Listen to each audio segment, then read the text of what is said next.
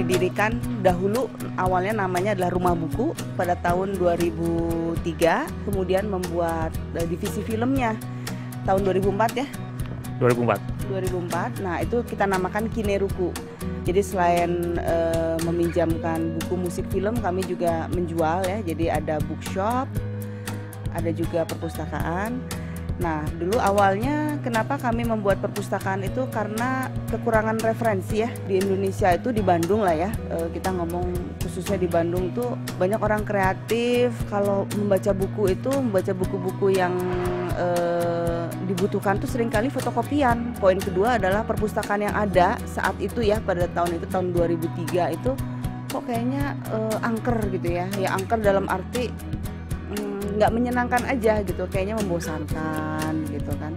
Uh, kami juga ada uh, pemutaran ya pemutaran uh, film disertai dengan diskusi ya. Itu biasanya uh, kami uh, mengundang film-film yang mungkin tidak mendapat cukup tempat di pemutaran-pemutaran uh, umum. Jadi ini semacam pemutaran tempat pemutaran alternatif. Ya memang yang paling lama ya salah satu yang paling lama dan tetap menjadi favorit itu nasi hijau terus potato wedges dalamnya empuk gitu ya. Apa luarnya crispy gitu ya. Juicy inside crispy outside. Ya tapi sih kalau favorit ya kesukaan saya favorit sih Turkish Turkish coffee. Itu memakai cawan kecil dari Turki. Ice lemon tea. Di sini uh, uh, seger banget. Terus kemudian ada es timun juga. Itu juga oh, iya. uh, cukup favorit di sini juga